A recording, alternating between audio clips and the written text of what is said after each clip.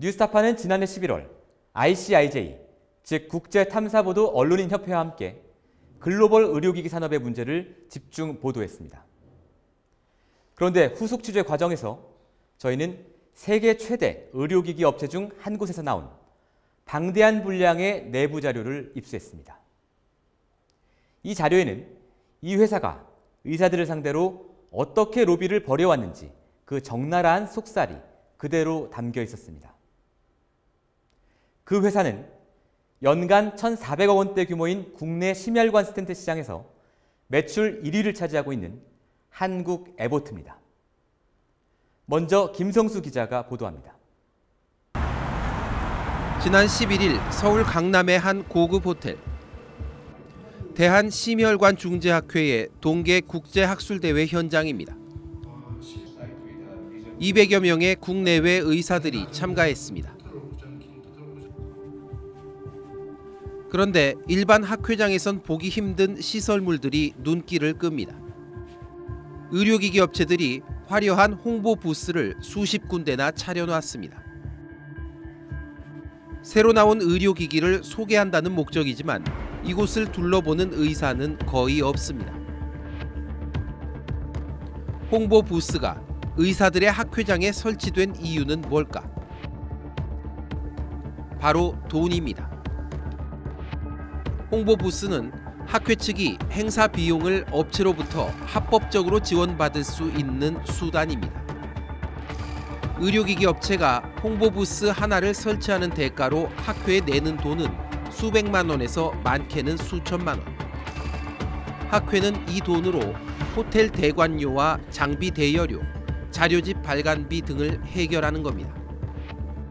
돈은 냈으니까 어쨌든 부스 설치하고 사실 할 게 없어요. 그러려고 몇 백만 원씩 내고 거기 나가올 생각은 없죠.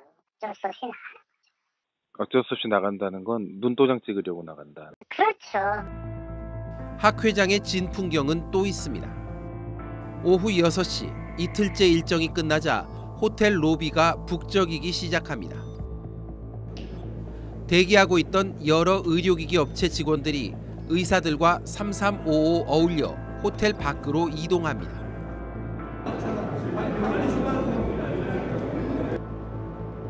이 가운데 한 그룹을 따라가 봤습니다. 호텔 인근의 한 고급 식당. 의료기기 업체 직원 6명과 의사 2명의 회식이 2시간 넘도록 이어집니다.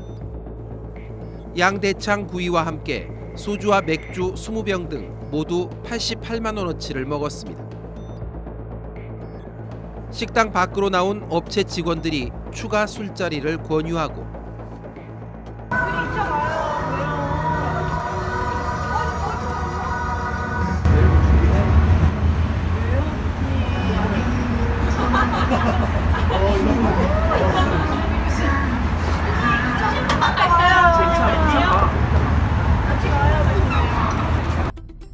결국 모두 함께 다른 술집으로 향합니다.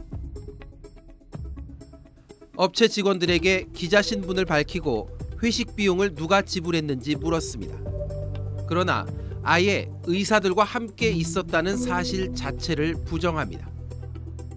하신다 해가지고 예. 네, 업체들이 많이 지원하시길래 어. 네, 지금 직원들 한잔 하려고 하는데? 네. 선생님들이랑 같이 계시던데 아, 그래요? 예. 아닌데? 우리끼리 때. 선생님들이랑 같이 계시던 거 아니었어요? 예. 우리끼리 먹으려고 지금 어디 가려고 하는데? 이 업체 직원이 거짓말을 해야 했던 이유 아마도 떳떳하지 못한 식사 자리였기 때문일 겁니다. 지금 보신 건 국내에서 열린 국제학술대회 현장입니다만 해외 학술대회장의 모습도 이와 별반 다르지 않습니다. 업체들이 자신의 고객인 의사들의 항공료와 숙박비 등을 지원하고 직원들을 동행시켜 식사와 술은 물론 쇼핑과 관광 접대까지 하고 있습니다.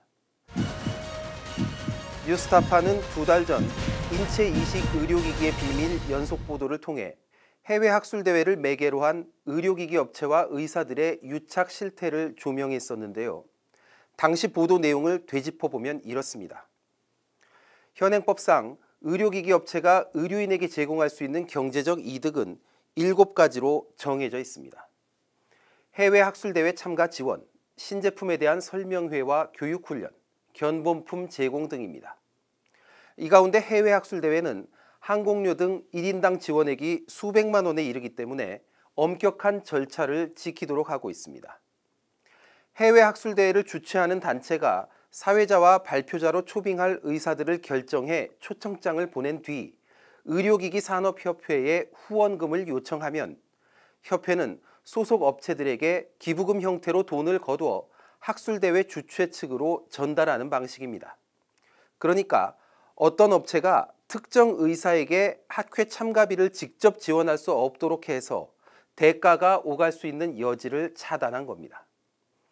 그러나 심혈관 스텐트 분야 경쟁 업체들인 보스턴 사이언티픽과 애보트는 자기들이 지원하려는 의사들을 미리 정해 학회 측과 사전 조율하는 부당 영업을 했고 이게 공정위에 적발됐던 겁니다. 공정위 조사 결과 업체가 먼저 의사에게 제안하는 경우도 있었고 반대로 의사가 먼저 업체 쪽에 요구하는 경우도 있었습니다. 지난 취재 때 업체와 의사들은 2010년대 초반까지는 그런 일들이 덜어 있었지만 지금은 없어졌다고 주장했습니다. 바로 이렇게 말입니다. 않죠.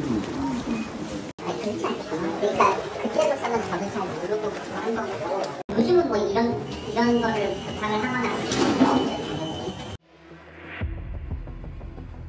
그러나 이 말은 거짓이었습니다.